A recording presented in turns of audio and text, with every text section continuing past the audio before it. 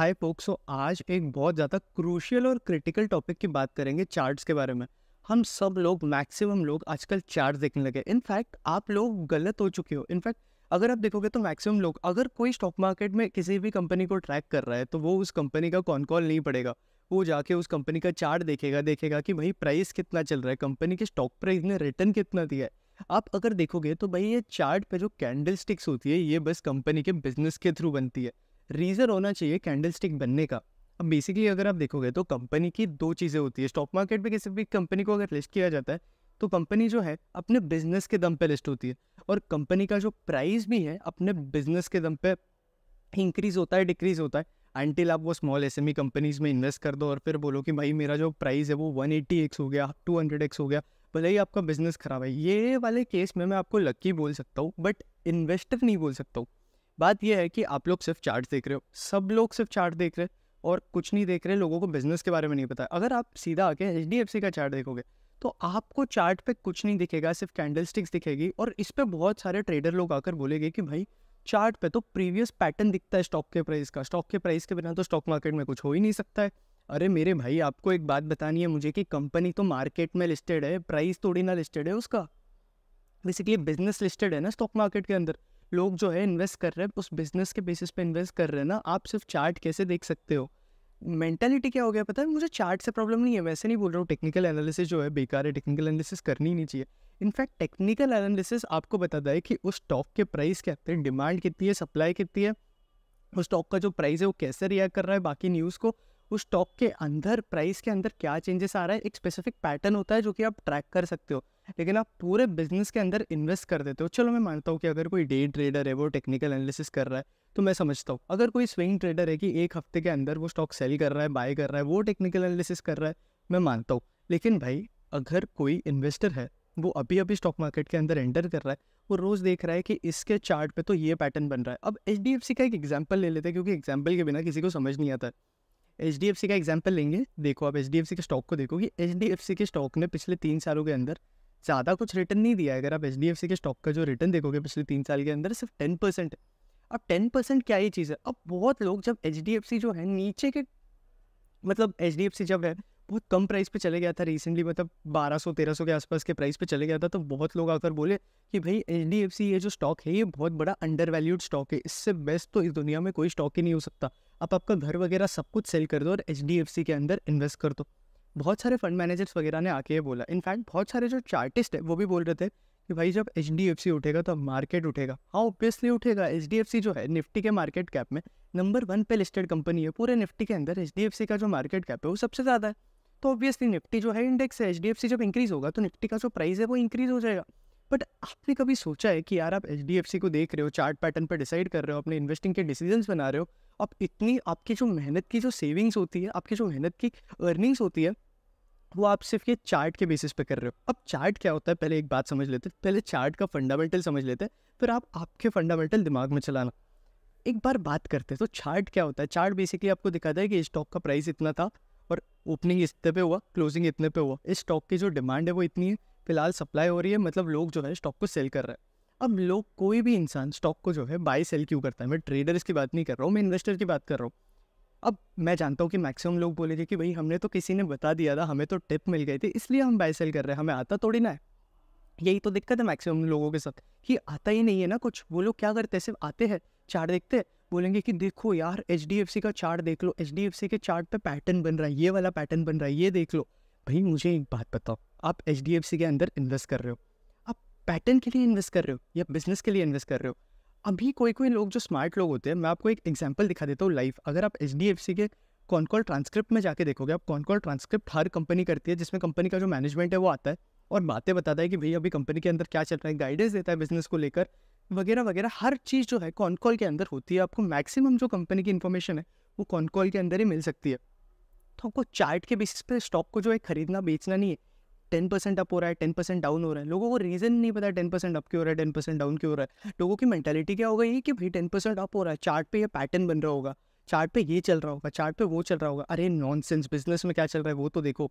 Basically अगर आप H D F C के कॉन कॉल में आओगे तो आप याद देखोगे ये जो फंड मैनेजर्स है वो आते हैं एच डी एफ़ सी के मैनेजमेंट को क्वेश्चन पूछते हैं और एच डी एफ़ सी का जो मैनेजमेंट है वो आंसर करता है इन सारे क्वेश्चन को। तो अगर आप देख सकते हो कि मैनेजमेंट के, आप इसमें से चेक करो नुवामा वेल्थ मैनेजमेंट ये आकर यहाँ बैठे हुए हैं।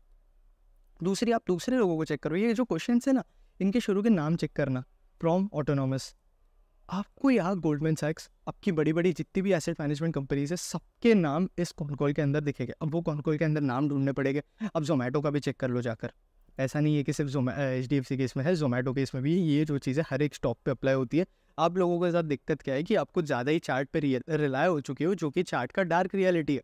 चार्ट का चार्ट्स का जो बेसिकली डार्क रियलिटी ये है कि आपको चार्ट पे जो है, एकदम एक्सट्रीम लेवल पे रिलाई करते हो और फिर आप बोलते हो कि भाई चार्ट ही भगवान है प्राइस ही भगवान है। प्राइस पे ही हर चीज़ होती है, बिना प्राइस के स्टॉक मार्केट में कुछ चल नहीं सकता है। बेटा बिज़नेस नाम की चीज़ होती है बिज़नेस एनालिसिस नाम की चीज़ होती है। फिर तो ये सारे जो एनालिस्ट बड़े बड़े बड़े बैठे हैं गोल्डमैन सैक्स वगैरह के, ये तो गधे हैं ना, क्योंकि ये लोग आकर बैठ रहे हैं, कौन कौन अटेंड कर रहे हैं, कौन कौन ट्रांसक्रिप्ट पढ़ रहे हैं। उन्हें तो कुछ पता ही नहीं, अगर चार्ट पे पैसे बनाना इतना ईजी होता तो सब लोग आज चार्ट देख कर ही पैसे बना रहे होते। एक और बात बताता हूँ अब इस पर देख लो एच डी एफ़ सी के इस पर देख लो, लोग बोल रहे हैं कि जोमेटो के स्टॉक ने बहुत अच्छा खासा रिटर्न दिया। हाँ दिया। क्यों दिया? भाई रीज़न भी तो जान लो, बिना रीज़न के कोई स्टॉक जो है रिटर्न तो नहीं देता है। अब देखो जोमेटो का चार्ट देख लो जोमेटो के स्टॉक ने अच्छा खासा रिटर्न दिया। अब बहुत लोग आकर बोले थे कि जोमेटो का जो स्टॉक है स्टॉक है, वो 130 के रेंज पे ओवर वैल्यूड हो गया था। चार्टिस्ट ने आकर बोला था ये कि जोमेटो का जो स्टॉक है, वो 130 के लेवल पे ओवर वैल्यूड हो चुका है। इसके ऊपर जोमेटो का जो स्टॉक है, वो जाएगा नहीं फॉल देखने मिलेगा। जोमेटो का जो स्टॉक है, आज के डेट पे 286 के प्राइस पे। क्यों है वो समझ लो ना, क्योंकि जोमेटो जो है कॉन्स्टेंटली अपनी जो रेवेन्यूज है, वो ग्रो कर रहा है। जोमेटो की जाकर कौन कॉल पढ़ लो? जोमेटो की कौन कॉल में अगर आप नोटिस करोगे तो जोमेटो का management fifty fifty percent sixty sixty percent की गाइडेंस दे रहा है। ब्लिंकिट जो है अभी बेटा पॉजिटिव धीरे धीरे हो जाएगा। ब्लिंकिट के जो ये डार्क स्टोर्स है, वो फिफ्टी परसेंट के रेंज पे एक्सपांड कर रहे हैं। इनफैक्ट फिफ्टी परसेंट से भी ज़्यादा आई थिंक ये ब्लिंकिट के डार्क स्टोर्स कुछ डबल करने का इनका प्लान है। तो ये सारी जो चीज़ें होती हैं बिज़नेस के अंदर जो चीज़ें होती रहती है, इस बेसिस पे जो स्टॉक का प्राइस है, वो फ्लक्चुएट होता है। और इस बेसिस पे ही आप इन्वेस्टमेंट डिसीज़न बना सकते हो। मार्केट जो है, वो ग्रोथ को चेस करता है। ग्रोथ ही मेन चीज़ है। अब वो सेल्स का ग्रोथ हो गया टॉप लाइन हो गया बॉटम लाइन हो गया, एक ही बात है। बट बेसिकली टॉप लाइन के ग्रोथ को ज़्यादा वैल्यू होती है क्योंकि आपका अगर टॉप लाइन ग्रो करेगा तो ही बॉटम लाइन ग्रो करेगा अनटिल आपकी कंपनी के पास एक बहुत बड़ा ऑपरेटिंग लेवरेज लेने का कोई एक रीज़न नहीं है। आपके पास कोई एक चीज़ नहीं है जिससे आपको बहुत बड़ा ऑपरेटिंग लेवरेज मिल रहा है तो वो बात अलग है कि आपकी बॉटम लाइन जो है आपके टॉप लाइन से बहुत ज़्यादा ग्रो करेगी, बहुत फास्ट ग्रो करेगी बट तब तक ये जो चीज़ है वो पॉसिबल नहीं है। तो सिर्फ़ चार्ट पे देख के ना, हम लोग क्या हुए पता है आजकल के लोगों को? इनफैक्ट बहुत सारे लोग ट्रेडिंग में जा रहे हैं। हर हर एक इंसान को स्टॉक मार्केट का जो है अवेयरनेस हो रहा है। और जब किसी को स्टॉक मार्केट का अवेयरनेस होता है, वो नॉर्मली आकर यूट्यूब पे सर्च करेगा कि भाई स्टॉक मार्केट में ट्रेड कैसे करते हैं? यही सबसे प्राइमरी चीज़ होती है जो कोई भी इंसान आके सर्च करता है। फिर इसके साथ साथ वो देखेगा कि how to invest in stock market उस पर कोई कोई पागल लोग आकर इन्हें बता देते हैं कि भाई, ये पैटर्न देखो, वो पैटर्न देखो, ये चार्ट पे लेवल देखो, वो चार्ट पे लेवल देखो। अरे नॉनसेंस बिज़नेस तो देखो। बिज़नेस देखना तो कोई किसी को बताता ही नहीं है। तो अगर आपको किसी भी कंपनी का रियल रीज़न समझना है कि प्राइस इंक्रीज़ क्यों हो रहा है प्राइस डिक्रीज़ क्यों हो रहा है तो आप कंपनी के कॉन्कॉल ट्रांसक्रिप्ट पढ़ लो। अब रिसर्च रिपोर्ट मैं रिकमेंड नहीं करता हूँ पढ़ना, क्योंकि अब एक रिसेंटली केस बताता हूँ गार्डन रिच शिप बिल्डर्स ये जो कंपनी अब आई ने क्या किया था? गार्डन रिच को उन्होंने फिफ्टी परसेंट डाउन का टारगेट दिया था। अब ये रिसर्च कंपनीज़ पर मेरे को बिल्कुल भरोसा नहीं होता है, क्योंकि इन्होंने फिफ्टी परसेंट डाउन का टारगेट दिया। और आज के डेट पे अगर आप देख लो, आज जो भी डेट है, उस हिसाब से आज जो है डिफेंस कंपनी जो है हाई पे हाई जा रही है। अब इन्होंने टारगेट जो है डाउन तो दे दिया था, अगर आप देखोगे तो गार्डन रीच का इन्होंने टारगेट कम कर दिया था। बोला था कि गार्डन रीच का जो स्टॉक है, वो बहुत ज़्यादा ओवर वैल्यूड है, इसकी इतनी ज़्यादा वैल्यू नहीं है।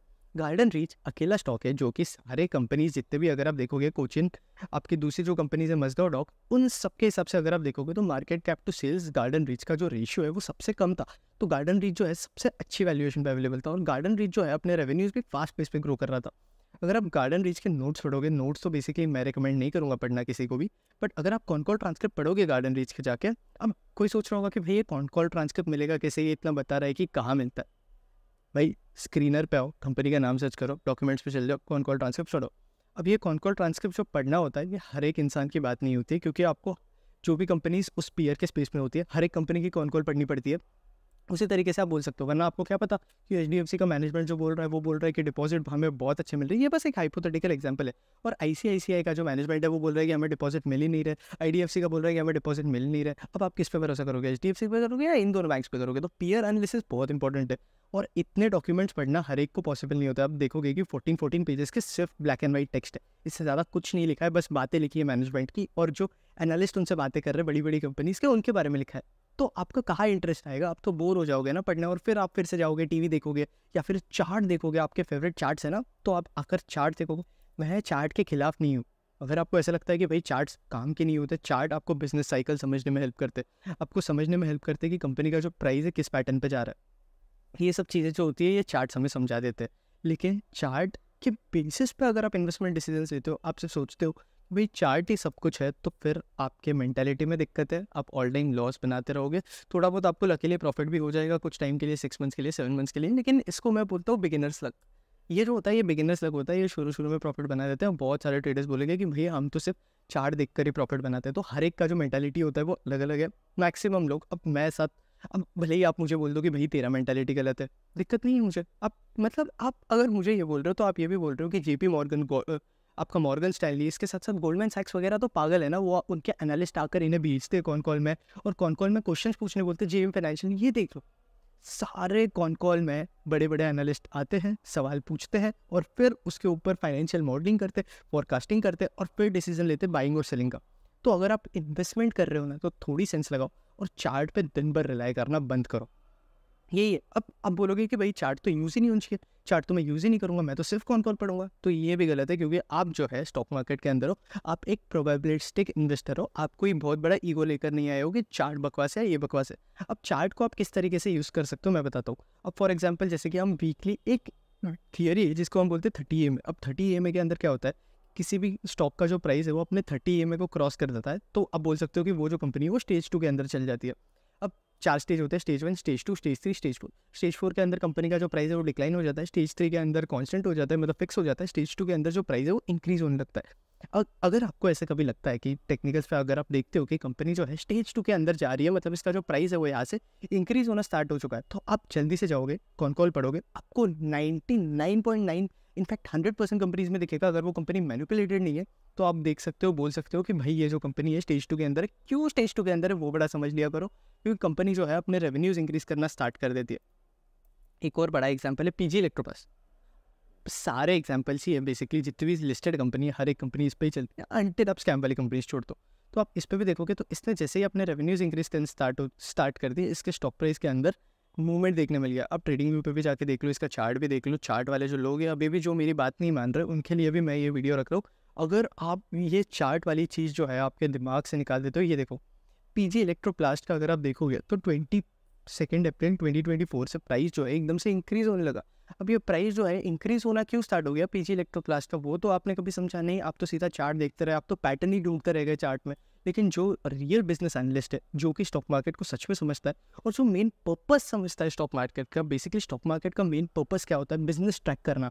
आप बिना बिज़नेस ट्रैक किए कुछ नहीं कर सकते हो। वॉरेन बफेट की इन्वेस्टमेंट फर्म वर्क शेयर है। तब बिज़नेस ट्रैक करती है। कोई बिज़नेस अच्छा करता है तो उसे रखती है। बिज़नेस खराब करता है तो उसे निकाल देती है। म्यूचुअल फंड्स यही करते हैं।